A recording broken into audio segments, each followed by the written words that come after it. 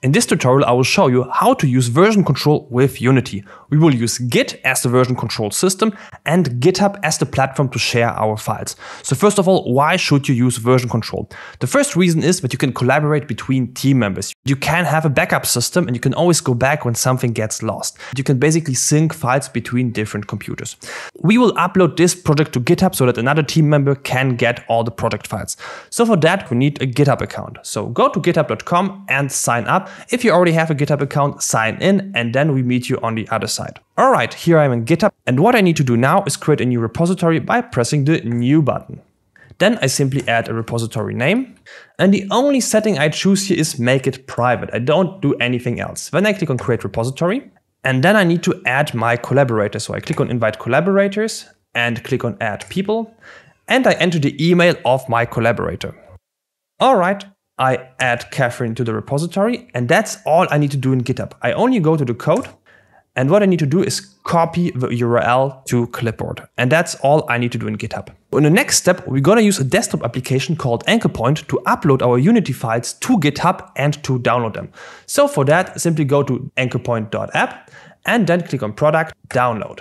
It will ask you to create an account, so do this quickly if you haven't so. I already have one, so I can simply log in, download the corresponding version, and once you downloaded the application, just double click to install it. So once the application is downloaded, simply log in with email. So we start at the projects page and we'll create a new project. We will choose Git repository and then browse to the folder of our project. In this case, I have the following project structure. So this is basically the main folder of my project. And then I have a pre-production folder where I have things like references, like moods. I have an assets folder where I have, for example, all my Blender files. And then I have an engine folder where I have all my Unity files. And because my project is small enough, I will put everything into the Git repository. If you have a bigger project in sizes of gigabytes and terabytes, you should split it that only the engine is then part of your repository and everything else is on another file sharing platform. So in this case, we're going to use the whole project. We click on select folder and we need to pick a git ignore in this case. So the git ignore is basically excluding certain files from being uploaded to GitHub. And these can be, for example, cache files, build results, so everything that is generated on your local computer.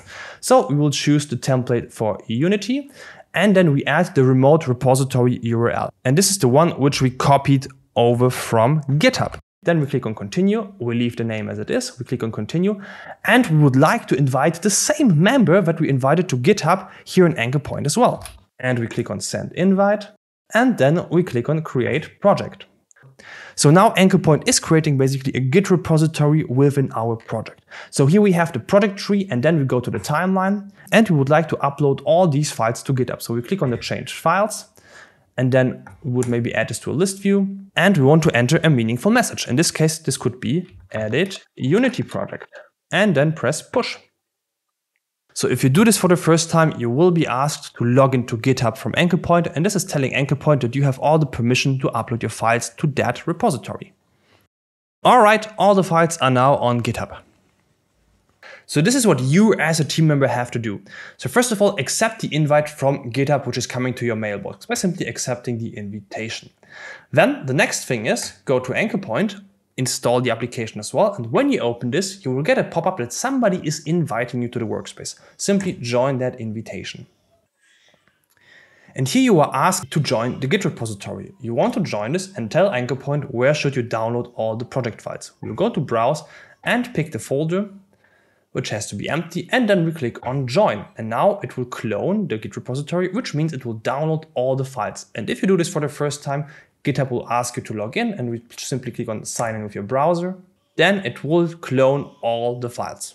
So in the timeline, we can see that this is the commit that I have made before. So now how to work together. Let's go back to me, myself. So here in Unity, let me make some changes. I just want to move some bricks around. And then all I need to do is save the scene by pressing Ctrl S. Then I open up anchor and then I simply click on changed files. I have the file here that got changed and I simply say and press push and that's basically all. And this is the whole workflow in a nutshell.